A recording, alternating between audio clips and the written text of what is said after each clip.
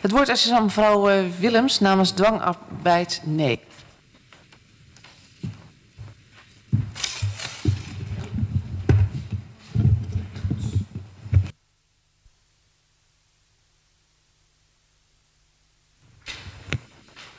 Hoi, uh, hier ben ik weer. Ik ben Tanja en ik heb nog steeds een uitkering. Ben actief bij doorbraak en dwangarbeid nee Groningen. En ik las het stuk voortgang, uitvoering, motie, weten waar kwaliteiten liggen. En daar heb ik het volgende over te zeggen. Jullie hebben het over arbeidspotentieel en dat is jullie gereedschapskist. Uitkeringsgerechtigde stadjes zijn daarin het gereedschap. Dat gereedschap wordt beoordeeld op nuttigheid, inzetbaarheid binnen jullie enge idee van een maatschappij. Wij moeten onze rechtmatige uitkeringen niet langer als een recht zien, maar als een gunst. En als dankjewel voor die gunst moeten we ons wederkerig inzetten. Daar bedoel ik mee dat we onszelf moeten opleggen de door de bezuiniging en andere politieke ontmantelingen veroorzaakte gaten op te vullen door ons bijvoorbeeld zogenaamd vrijwillig in te doen laten passen in onbetaalde arbeid in wijken of andere plekken.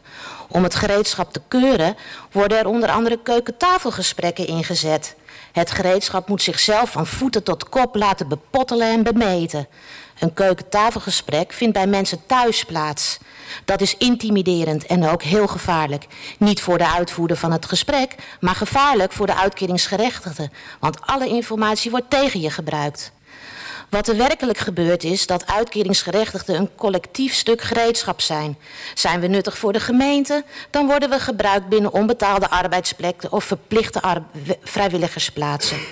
Zijn we niet nuttig voor de gemeente, dan worden we net zo hard gedisciplineerd door voortdurende dreiging met sancties, kortingen, boetes, controles, reïntegratie, carousels, etc. etc. Dit is de geperfectioneerde liberale sociale democratie. De gemeente is er niet voor uitkeringsgerechtigde mensen. Uitkeringsgerechtigde mensen moeten er zijn voor de gemeente. Dit is onverteerbaar en dit pik ik niet. Ik laat mij niet gedwongen bekloppen en bemeten. Ik ben geen stuk gereedschap in jullie kistje. Ik wil dit niet.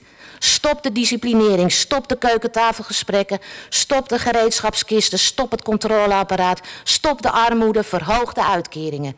Dank voor jullie aandacht. Oh ja, en uh, tot maandag, want dan is er een actie op het Waagplein, kwart over twee, 29 juni, baas aan eigen keukentafel. En ik wil ook wel graag applaus. Mevrouw Willems, dank u wel voor uw